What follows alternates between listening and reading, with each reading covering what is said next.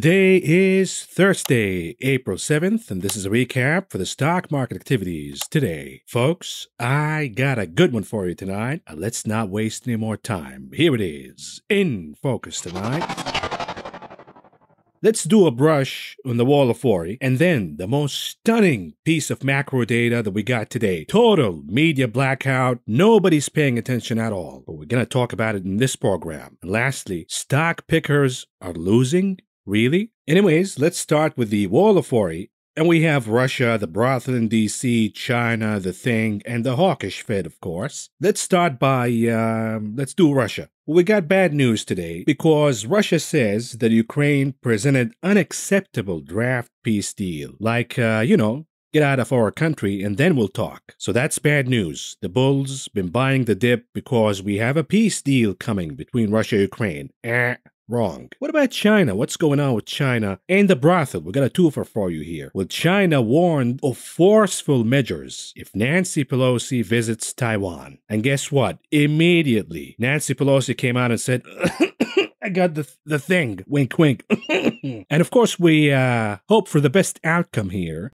What? I'm just hoping that she's gonna recover and make it out of this. What do you guys think I was hoping for her death? You dirty minded so and so? What else? On the wall of 40. What about the hawk, the Fed? Well, we now know, and even the media is admitting that the Fed made the f up of the century, the biggest mistake in financial history. And now the Fed, of course, to make up for the f up of the century, they want to clean the mess by pulling out the sledgehammer and crush those bonds. They've been buying bonds for years now. And guess what? They want to dump all of these bonds and get rid of them. Are they going to start to lose money on some of these bonds? Are they going to push yields out of whack? What about the mortgage backed securities? Is the Fed about to lose money on that too? Nobody's paying attention to this, folks. And today we got more bad news for the Fed. We got macro data, unemployment data. The claims are now down to 166,000, the lowest level since 1968. Why is this bad news, Maverick? Because good economic economic news means bad news for the stock market. Why? Because good news means that there is no need for the Fed's cocaine. A matter of fact, the Fed should start tightening now. Now, you might say, hey, what about all of that recession talk? We have the lowest unemployment in history since 1968. How could you have a recession when you got the lowest unemployment since 1968? And I say, go back to 1968 and Google what happened back then. And if that wasn't enough, even Jeremy Grantham came out today and said that the oil spike that you're seeing right now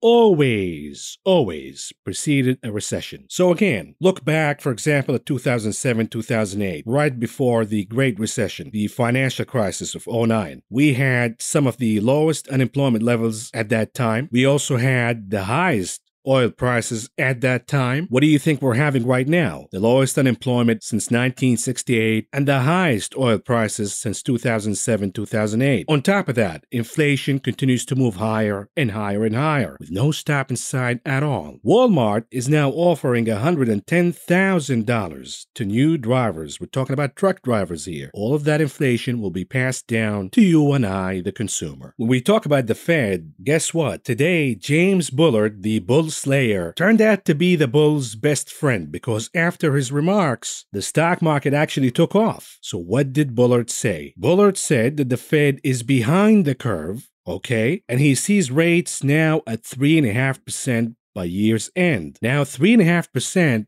if, let's say, Brain Dead said that, the stock market would have been rattled. But when Bullard says 3.5%, the expectations were for 4 or 5 from Bullard. But now he says 3.5%. The bulls like that. The Bullard turns out not to be so hawkish after all, at least for now. What the Bulls also liked about Bullard's statement today is the fact that he said that yes, the policy is behind the curve, but it is making progress, and it is not too late for the Fed to do the soft landing. And this is what the bulls liked from Bullard today. The problem remains every time you buy the dip and you push the stock market higher, just like Bill Dudley said yesterday, financial conditions are not being tightened. So the Fed will have to be more aggressive. In other words, if you're buying the dip right now, you're begging to be slaughtered. Anyhow, let's move on to the most alarming piece of macro data that we got today. And nobody's talking about it. Blackout by the media. Maybe they mentioned it here and there as, yeah, consumer credit, uh, who cares? Next, please. But this is, in my opinion, the most alarming piece of data that we got so far this year. Because what I've been talking about in this channel is the fact that the consumer is not that strong. The myth of the so called strong consumer. The consumer is only strong because of the cocaine. The stimmies and the free cash all over the place, pumping stocks, pumping tulips, pumping farts in a jar. But at the end of the day, the consumer is absolutely zombified and stupid. Number one, they've been living beyond their means, taking rents and mortgages and car loans that they, cannot really afford. Number two, they take their jobs for granted, as if these jobs are in the bag. They don't realize that they only got higher salaries and they got these jobs because we have a bubble in the economy, an artificial bubble that is about to be popped because the Fed created the bubble and now they have to clean the mess by crashing the bubble. Number three, Inflation is sky high, and the consumer is now chasing inflation. And I told you, the consumer is only strong because they keep swiping those credit cards up and down, up and down, up and down, with no thinking at all that interest rates will rise higher. This setup could, keyword could, cause a depression in this economy because when the recession happens and they start to lose their jobs, they will be caught with their pants down. They got a mortgage they cannot afford, they got rents they cannot afford, they're behind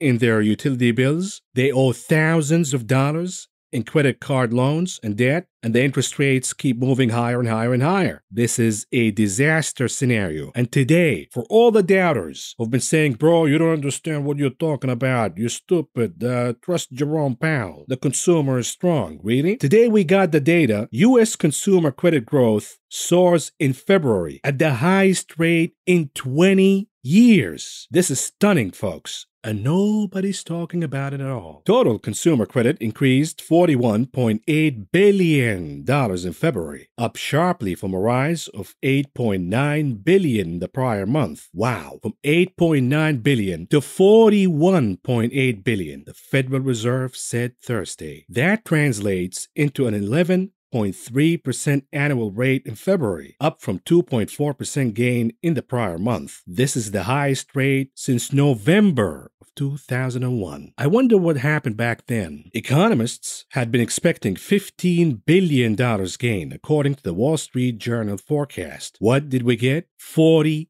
1.8 billion. Not even close. Revolving credit, like credit cards, rose at 20.7% rate in February after 4% gain in the prior month. We went from 4% to 20 0.7%. This is a disaster, folks. The consumer is absolutely out of their minds, but on the other hand, what do they have to do? They have to chase all of that inflation higher. Rents are moving higher, gas is moving higher, groceries are moving higher. Utilities are moving higher. Diapers are moving higher. Do you now understand that this is a disaster scenario? And by the way, the reading from Marsh is going to be even uglier than this. We could get to $100 billion in consumer credit. We went from 8 billion almost in January to perhaps 100 billion by the end of March. This is just alarming. You cannot even make this up. This was stunning even to me because it is beyond the worst case scenario. Next, let's talk about the stock pickers they say that so far this year, stock pickers and hedge funds are having the worst performance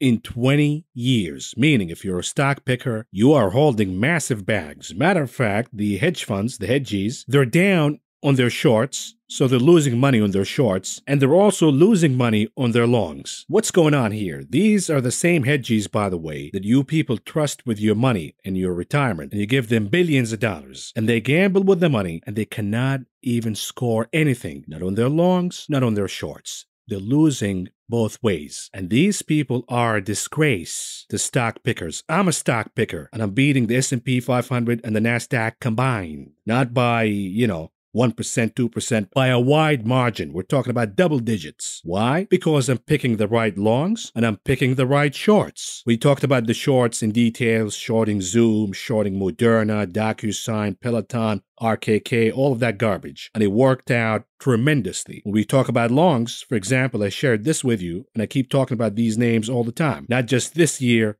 but last year. We're talking about names like Berkshire Hathaway, Freeport McMoran, Lockheed Martin, Mosaic, Alcoa, John Deere, Union Pacific, Chevron, the oil names, Hershey's in defensives, AbbVie in healthcare, Barrick Gold, Kroger. Guess what the year to date returns for these names are? Here we go. Berkshire up almost 16%, Freeport up almost 16%, Lockheed 31%, Mosaic, look at this, 82%, John Deere 19%, Alcoa 44.5%, Hershey's 15%, Chevron 42%, Barrick Gold 31%. These are insane gains, folks. So when you say that stock pickers are losing, who are you talking about? Now, we got a problem with the transportation stocks, ZIM, for example, and Union Pacific. They were winners year to date. The problem is the crash, the recent crash in transportation stocks absolutely killed these two names. ZIM was up big year to date, so was Union Pacific, but we will talk about the crash in transportation stocks in details perhaps over the weekend. Here's another list that I shared with you before, the agricultural stocks, and I broke it down for you from fertilizers to seeding to herbicides to farming to processing to consuming, and I gave you names like Mosaic, Nutrien, ICL, FMC, AGCO, ADM, Kroger. Look at the gains for these names. Unbelievable. So again, are stock pickers really that stupid or are the hedgies stupid? Here's another list, by the way, that I talked about not so long ago. We've been talking about the rise in natural gas. Names like Southwestern Energy, EQT, Coterra, Devon. Look at the gains year to date for these names. Here it is. We're talking about 40% in certain cases, 70% in certain cases, 60, 50%. These are insane gains year to date. Now, contrast this performance with the year to date performance of, say, Apple, Tesla, the meme stocks, the garbage stocks the retail crowd and the hedgies like. Not even close. We also talked about uranium, and I gave you two names UEC, URA, the ETF, I'm not a fan of ETFs, but in this case, you have my blessings to buy the ETF URA. The year to date for these names, UEC up almost 65%. We're talking year to date, folks, not five years gains. This is year today. URA up almost 19.5%. And I've been talking about coal for a while now, specifically the ticker BTU, which is for Peabody Energy. And we have recent tailwinds because the European Union decided to sanction Russian coal, which is pushing coal prices higher. It is absolute stupidity. The sanctions are firing back right away. And then the European Union says we failed to impose the sanctions due to technical issues. Oh, really? I even tweeted about it today. I said BTU is a winner today thank you to the sanctions that continue to punish people at home with more inflation and reward Russia with more cash. Have you noticed that all of the assets that the Russians sell, be it oil, gas, coal, uranium, fertilizers, all of these assets are exploding in price, making the Russians richer. What a colossal of stupidity. But we can use this stupidity in our advantage and make gains like this. I tweeted about BTU today when the name was up 1.79%. The name closed the day with with gains of over 8%, and it continues to gain after hours. Tell me again, which YouTuber out there puts cash in your pocket pretty much every single day? What?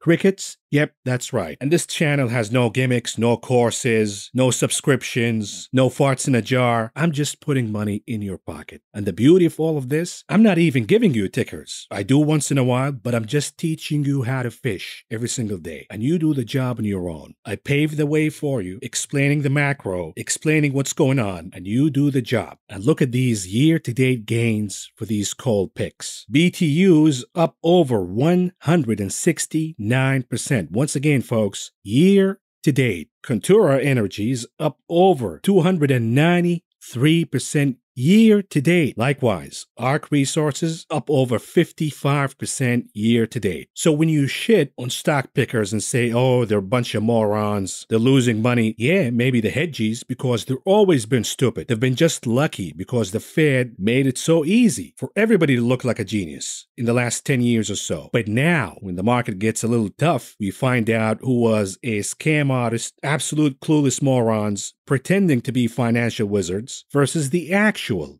stock pickers, the people who actually know what they're doing. And if you know what you're doing, if you're a stock picker, you're crushing the S&P and the Nasdaq here today. You just have to be in the right places in the stock market. And with that, folks, let's move on to cover the market information today. And we start with the performances of indices. And uh, here we go. The Dow Industrial Average was in the green by 87.6 points, or a gain of 0.25%. The Nasdaq barely in the green by 8.48 points or a gain of 0.06%. The S&P 500 also in the green by 19.6 points or a gain of 0.40 3%. The sector's performances were led by healthcare, capturing the gold medal at number one, and number two for the silver, energy, number three for the bronze, defensives. The laggards of the day are REITs, communication services, and financials. The market is so confusing right now. One day REITs were up leading the gains, now REITs are down leading the losses. And then you have days where energy is down and then energy comes back on top. You gotta be consistent here. You cannot just chase the move. Either you have conviction in your picks or not. Moving on to the advance to decline ratios, the NYSE 43% advancing versus 54% declining. The NASDAQ 36% advancing versus 59% declining. Commodities, it was a wild ride for crude. Crude was down big in the morning, yet it managed to close in the green by the end of the day. The WTI was up by almost three quarters of a percent. Brent was barely in the green so was gasoline, and then we have losses for heating oil, a little over one and a quarter percent. But the winner so far for the week is natural gas, scoring over six and a half percent gains today alone. What about softs? We have a rebound for lumber, not a big one, but almost one and a quarter percent. Then we have gains for OJ. The ride in OJ is absolutely impressive. OJ closing the day with gains of almost two and a quarter percent. Then we have gains for sugar, almost one and a half percent in the green, and cocoa. The rise of cocoa continues to go on with gains of a little over one percent. The laggards in softs, led by cotton, cotton down almost one and three quarters of a percent, and then we have coffee also down by almost half a percentage point. Metals green across the board, with exception of copper. Copper is the laggard today, down almost half a percentage point, but we have modest gains for gold, silver, platinum platinum. The leader was palladium, closing the day with gains of over 2.5%. Muted activities for meats across the board, live cattle, feeder cattle, lean hogs futures, nothing moving at all. When we talk about grains, wheat is down almost 1.5%. We have muted activities for rough rice, corn, soybean meal, but decent gains for the rest. Soybeans, soybean oil, oats, canola, all closing the day with decent gains. Inflation is not going to stop, folks. Every dip in commodities will be bought until the Fed becomes serious about tackling inflation. Moving on to the options market, the big casino, leading the pack this time around, the hottest table by far is not Apple, it's actually Tesla, the souffle, with a little over 1 million contracts, but 59% of those were calls. Apple at number two, not so far behind, but 950,000 contracts traded for the name today, about 59% of those were calls. AMD at number three, with around 500,000 contracts traded today, about 66% of those were calls. Look at AMC, slow slowly but surely, the options volume is picking up. Likewise, the implied volatility in AMC is also picking up higher. Not by a lot, but is this a sign that the apes are about to make a comeback? We'll see. And here are the unusual activities that took place in the options market today. We start with the ticker XLU, the utilities ETF, a winner so far this week and it has been for a few weeks, but somebody's calling a top here by buying the 68 puts for the expiration date June 17th, with the expectations that the XLU could go down by more than 11% by then. They paid around 50 cents apiece to enter this trade, all in all spending around $875,000. What about the ticker DLTR Dollar Tree? The buying calls big time, the 170 calls, the expiration date June 17th, with expectations the Dollar Tree could move higher by more than 7% by then. They paid around 5 bucks and a half apiece to enter this trade, all in all spending around $6 million. What about the ticker S CHW Charles Schwab. They're buying puts here, not a good sign, by the way. Financials are about to report earnings, and somebody's buying these 70 puts for the expiration date May 20th with expectations that Charles Schwab go down by more than 12.5% by then. They paid around one buck apiece to enter this trade, all in all spending around $1 million. What about the ticker YANG Yang? This is the inverse index for Chinese ETFs, meaning if you're buying calls, you're betting that Chinese ETFs will go down. In this case, They're indeed buying calls, the 19 calls with the expiration date of April 14th, meaning next week, with the expectations that Yang will surge higher by more than 22% by then. And again, a reminder that means that Chinese equities will go down. And in this case, they paid around 25 cents a piece to enter. This trade, all in all, spending around $250,000. At the bottom of the table, what about the ticker STKL SunOpta? I used to own the name, and it has been my worst performer last year, down big, so I had to get rid of it for taxation's reasons. And for all of you who think that I'm the stock messiah, here's a reminder for you. I ate a massive bag in this one, STKL SunOpta. And somebody's betting for more pain to come for this name by buying the 5 bucks puts for the expiration date, June 17th, with the expectations that the name could go down by more than 7.5% by then. They paid around 50 cents apiece to enter. This trade, all in all, spending around $400,000. Moving on to the heat map analysis, it was uglier in the morning at least, and then the pump came from Bullard. It doesn't look so bad, but we have a lot of pain in Chinese equities, Baba, JD, Baidu, all down big. And even the speculative names and software and the startups also down big. Financials, that is extremely alarming. Financials are down big, and look at this contrast, by the way. The 10 year yield moving higher, financials moving down. This is an interesting phenomenon, contrary the trend, which is a correlation between the 10 year yield and the performance of financials. So, what does that mean, by the way? It means that the yield curve is inverting and it's hurting financials. Likewise, I'm really disturbed about the underperformance of autos. Ford down big. I own Ford, not happy so far. The name is down big year to date. Honda also down. The Chinese names down, GM down, Toyota down. The only name that closed in the green is Tesla because they're buying call options. But again, the underperformance of autos is really disturbing. Something severely wrong going on here. Transportation's crashed. Could autos be next? Think about it. We have a massive chip shortage. They're not going to be able to produce all of these cars. Number two, the EV hysteria. They canceled all of these gas combustion engines, all of these cars. They don't want them anymore. They want to concentrate 100% on EVs. And guess what? The prices of materials in EVs, the batteries, they're skyrocketing right now. So all of these cars will be overpriced. The consumer is not going to be able to buy them. Massive problem for the autos. On top of that, they got out of the Russian market, a stupid move specifically by Japanese manufacturers. And therefore, we're seeing a lot of pain in Toyota, Honda, and the rest of them. But the majority of the gains today came from healthcare, specifically diagnostics and big pharma once again. Look at the performance of AbbVie, Pfizer, up big today. And by the way, there is a new wave of the thing, so watch out for Moderna and Pfizer. And of course, Pfizer, all in all, is really cheap, cheaper than healthcare, cheaper than the S&P 500, so you might want to buy Pfizer here. And we also have news for HP. Why? Because the big buffet, Warren Buffett, bought a 4.2 billion stake in HP. Perhaps the big buffet thinks that this is a bargain, and it might be a bargain. Otherwise, why would he take a stake in HP? And guess who, by the way, last year recommended HP for you? Yep,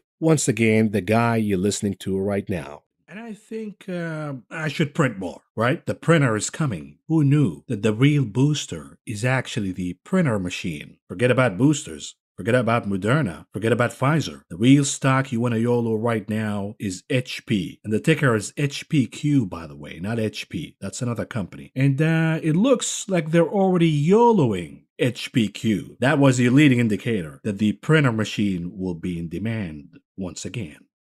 And here it is. Since then, HP is up around 16%. Now, you might think this is not impressive. How come the stock is not up 200%? Think about this. The majority of technology stocks are down big year to date. HP is an outlier. Moving on to the heat map for the ETFs. Muted across the board, no action whatsoever. Values outperforming growth by tiny bit. The volatility indices, the VXX, UVXY were down. Healthcare, XLV led the pack. So was the XME materials. Energy, here and there leading. But besides that, really boring action today. Even the international markets were boring, besides China down big. The majority of the action today was actually in commodities. Look at uranium, URA, up big today, almost 6% in the green. Where are my uranium bulls? Anybody in the comments, let me know. We also have gains for natural gas. Where are the natural gas bulls? UNG up over 5% today. So we're sticking with commodities, folks. We're not going to play any cute games here. Moving on to the charts analysis, and we start with SPY, the S&P 500. Let's do an hourly chart this time around. What's going on here? We knew from the get-go that the chart was oversold. So the expectations were for a rebound, at least a small one. And we got that today. The chart recaptured 446 and a half, and it got all the way to 451, and it did not make it all the way there. It did attempt to close the gap, but we ran out of time. So we cannot make a conclusion here one way or the other because if the chart closed the gap and closed above 451, we could have said this is bullish, not bearish. But with this closing, below 451, who's to say that after all of these oversold conditions on the RSI worked out, we will see a flush down and the SPY would lose 443 once and for all. So for now, it is inconclusive, but the bears did significant damage and they rattled the confidence of bulls in this chart. The support for now, 446 and a half, the resistance, 451. And here's the daily chart for the SPY. Again, the bulls made some progress today by the fact that they kept 4,472 too, but you look at the momentum indicators, it's tick tock. It's just a matter of time before we see a flush down. The volume moved a little higher on the buying side this time around. So mixed signals. It is a reaction of the drop but the reaction is not so impressive so far. The Bulls need to close the week decisively in the green. I'm not going to ask for 454, excuse me, 4,549 and a half. I'm just going to ask for the Bulls to keep 4,472 to give them some credit here. But most importantly, when we look at the SPX, the cash index, what the Bulls need to do by Friday, meaning tomorrow, is closing the week above the 200 days moving average. Now, we have a gap down in the SPX. We know charts like to close gaps that they left on the upside. So who's to say that the SPX is not going to close the gap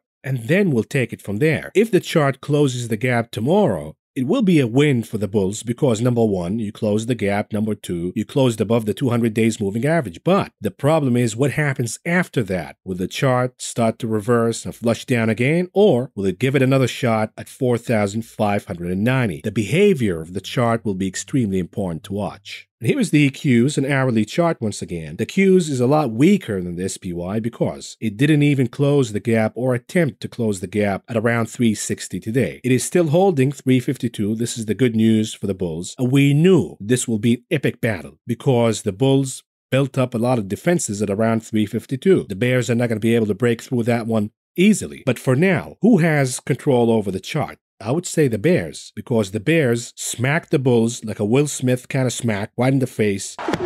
Oh, wow! A surprising one. The Bulls thought they're in the clear. Nothing is going to stop them now. They're going to go back to all time highs. And here comes the Bear with the smack right in the oh, face. Oh, so I say the shock element alone gives the Bears the advantage. The support for now is 352 the resistance at around 360. Here is a daily chart for the continuous contract for the NASDAQ. The good news once again for the bulls is 14,445 is intact as support, at least for now. The volume moved higher on the buying side. So the bulls are fighting back, folks. They're not giving up. The bulls are still here and they're fighting back. But the good news for bears is the following. The momentum indicators are curling down in negative divergences. It means that if the Bulls don't make progress by tomorrow, a decisive progress, a big green candle to the upside, sooner or later, they're going to lose 14,445. And here is a 30 minutes chart for the IWM, the Russell 2000. Yesterday, we talked about a bear flag formation. Today, the formation is playing out. It got us almost all the way down to 196.5, and then we saw a rebound in the IWM. The IWM was already oversold. It is still kind of oversold, so we could see an attempt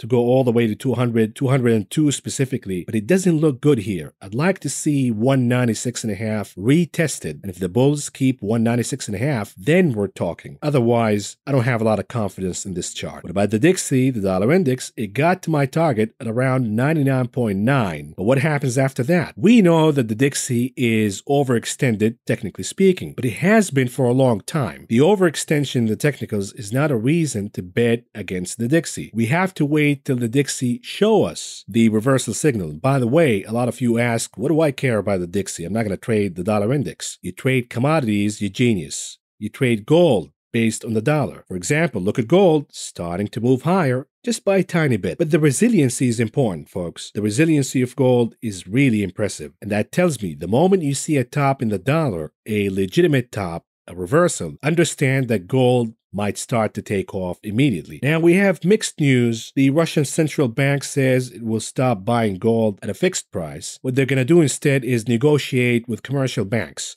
They're going to buy gold at a negotiated price from commercial banks across the globe, those who are willing to do business with Russia to begin with. Is this good or bad for gold? I think it is immaterial for now. What matters is is the Fed becoming too hawkish? Are we heading into stagflation and a recession? These factors are more important for gold than the Russian central bank. What about oil? Look at that, a failure all the way to 100. And now we're watching the epic battle of 100. If oil loses 100 for good, closing the week below 100, it's going to be an epic defeat for oil bulls. However, amidst all the pressure, the release from the SPR, the pumping of oil via fake news, if oil closes the week above 100 and specifically bounces higher significantly, for example, regaining 105.84, it will be a massive smack in the face, Will Smith kind, right in the face of the manipulators and oil bears. Moving on to the 10 year yield, the daily chart, what's going on here?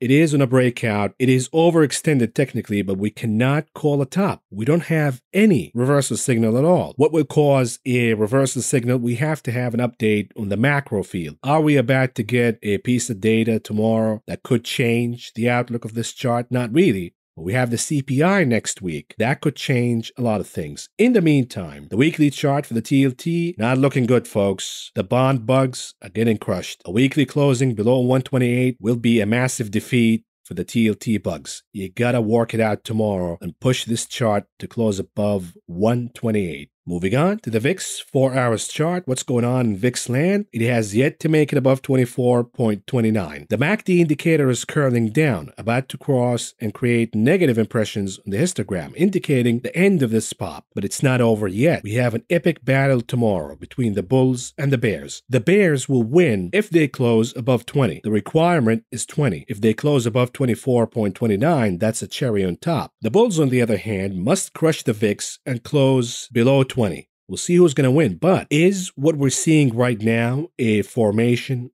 of a bull flag? Well, a closing above 20 for the week will keep that hope alive for VIX bulls. Moving on to the VXN, the VIX for the NASDAQ, what's going on here? Unlike the actual VIX, the MACD indicator is still moving higher. It is firming, indicating that we could see a pop in the VXN, we could see a drop in the Qs. For now, it is a bull flag formation until and unless the NASDAQ bulls manage to close this chart for the week below 27 and a half. What about Apple? Again, it is resilient. It is attempting to climb 172.4. There was a lot of talk about the gap that always these kind of charts close the gaps above. Even if that happens, who's to say we're not going to see a reversal and a loss of 172.4 support once again? And by the way, if that happens, it will be the ultimate shorting signal, the ultimate bearish signal. Moving on to Tesla, the Lane hourly chart. What's going on here? I'm about to confuse you, so buckle up your seatbelts. We talked about a bear flag pattern that got us a little bit to the downside today, at least early in the morning. But we also have a gap above at around 1090 and a half. The conditioning for now says that gap will be closed sooner or later. So this is what the bulls are betting for. This could be a double bottom formation that should take us all the way to close the gap. Here's the problem. In the larger picture, this is all in all a bear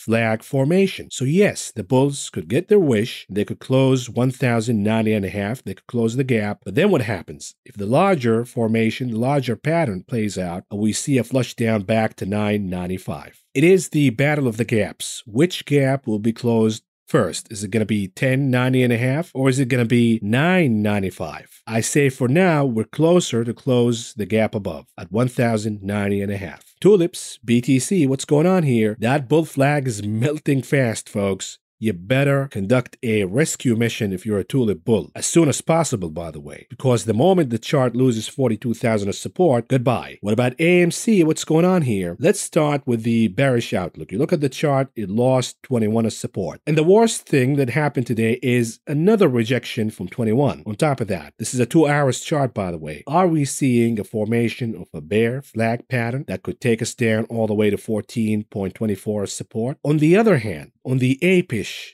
side is what we're seeing right now an oversold condition in the RSI, the MACD indicators, indicating that the apes could give it another shot at 21 before the end of the week. Something to think about. We could see a rebound, but it depends whether this chart is going to close the week above 21 or not. A rejection at 21 once again, not a good sign for the apes. A closing for the week above 21 keeps the hope alive, perhaps we could see AMC trading higher next week. Lastly, moving on to the conclusion of this video. What do we have on the economic calendar tomorrow? Not a lot, we have wholesale inventories, and this will be a revision. So the bulls have the all clear to rebound the market higher. If they fail to do so, you know that the bears have taken control over the indices and the broader market in general. An epic battle to watch, specifically the VIX, the 20, for the weekly closing. We'll see what happens, but this is all I got for you for now, folks. Thank you for listening.